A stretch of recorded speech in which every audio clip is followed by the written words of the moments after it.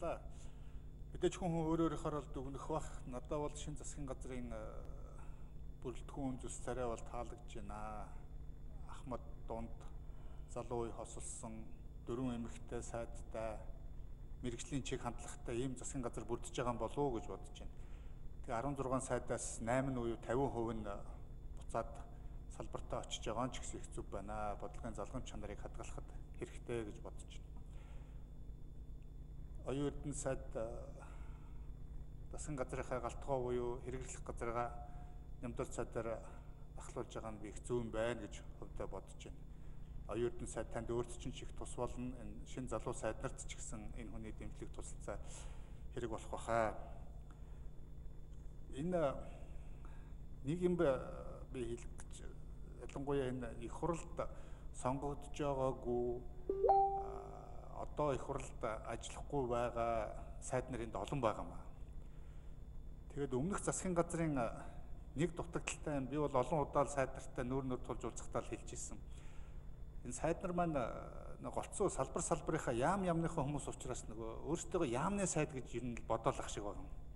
Энэ алдааг бол та нар цаана одоо дахиж гаргаж болохгүй шүү. Энэ шинээр дахиж орж байгаа 8 өргөжлүүлж байгаа 8 шинээр орж байгаа хүмүүс ч гэсэн би нөгөө залуучуудад гол нь хандж хэлээд байгаа шүү дээ. Их хуралд ажиллаж үзээгүй улс төрийн туршлагагүй хүмүүс. Та нар маань бол улс төрийн албан тушаалтнууд салбарын сайд нар тэгээд энэ хэвлэл мэдээлэл рүү их гарч ямаар байна. Бодлогоо тайлбарлаж ямаар байна. Өөр дээрээ гал авч энэ ерөнхий сайд одоо энэ засгийн газрынхаа ажлын ачааны хүндээс үргэлжлэж ямаар байна. Ерөөсөд ихэнх нь ерөөсөд ихгүй юм. Тэгэл нэг ям ям дотроо л ажиллаа хийгээд байгаа харагдаад байгаа. Тэгээ улс төрч хүмүүс шүү. Улс төрийн албан тушаал эрхэлж байгаа шүү. Энэ та нарын ажил бол яамны ажил биш шүү. Энэ олон нийтийг мэдээлэлээр хангаж яадаг, бодлогоо танилцуулж яадаг, алдаагаа хүлэн зөвшөөрөөд яаж засч байгаа, ямар асуудал тулгаад байгаа, тулгамдаад байгаагаа ярьж явах хэрэгтэй. Энэ нэг ажил дээр зогсоо заагүй пиардаад гэсэн үг шүү дээ. Зогсоо заагүй сошиалор юм бичээл тэгээд гэсэн үг шүү. Аа донжийн тааруулж энэ бодлогоо тайлбарлаж ярих асуудал дээр онцгой анхаараарай гэж би нэг зөвлөгсөн юм аа залуучуудад. За хоёр дахь юм бол би бол мэд сайхан сайдыг мөх сайхан сайдыг ажиллаа сайн хийж исэн хүнд үед салбарыг зөв авч явж зөв эхлэлүүдийг тавьсан нь ажиллаа өргөжлүүлээсэй гэж бодож исэн. Тэгээд харамсалтай нь өөрөө өргөдлөө өгöd явчлаа. Тэгээд энх бол цаадад ажилч их амжилт хүсье. Таны нуруунд дээр бол асар их ачаа зөвхөн монголчууд бидний эрүүл мэндийн э, асуудал биш. Энэ эрүүл мэндтэй холбогдуулаад цаашдаа Монголын эдийн засаг, нийгмийн амьдрал ер нь хэр хурдан хэвийн галбиралдаа орох уу гэдэг том ачаа танд ирж шүү. Энд дээр чинь амжилт хүсье. Тэгэд 2020 оны 8 сард улсын их хурлын чуулганаар баталсан эрүүл мэндийн эрүүл мэндийн даатгалын эмийн хуулиудад оруулсан өөрчлөлтүүдийг амьдралд хэрэгжүүлэх асуудал дээр онцгой анхаараарай. Бид энэ нэмийн агентлаг сая байгуулах шийдвэрийн гаргаад байгуулагдлаа. Одоо шинэ нэмийн агентлагийн удирдлага ажиллах хэвээр нэмийн чанар дээр анхаарах, үн өртөг дээр анхаарах маш олон асуудлууд байгаа шүү. Энэ дээр анхаараарай.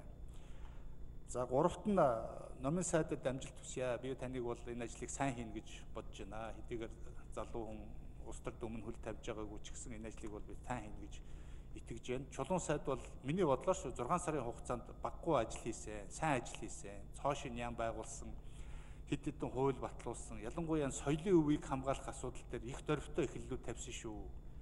Энэ бол март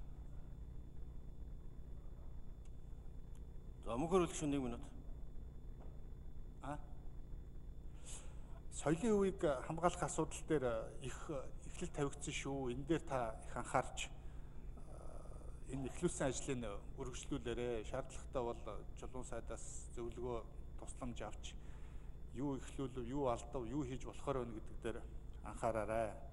За тэгэд мэдээж энэ засгийн газрын одоо өмнө тулаад байгаа нэг том асуудал бол энэ боловсролын салбарын реформоо. Бид нар боловсрлоо шинжлэхгүйгээр Монгол хүнд орчин цагийн зөв мэдлэг боловсрол олгохгүйгээр монголчууд бид хичнээн нүүрснээс алтнаас орлого болоод улс орноо хөгжүүлж чадахгүй. Гол нь альва нийгмийн хөгжил бол хүнээсээ л эхэлж байгаа учраас энэ салбарын энэ их том реформын ажилд их хамгаалсан сайдад амжилт хүсэж байна. Улсын их хурл бид бол та бүгдэд бүгд талаараа дэмжиж тусалж ажиллахад бэлэн байгаа. Баярлалаа. За мөнгө хөрвүүлэгч үг хэллээ.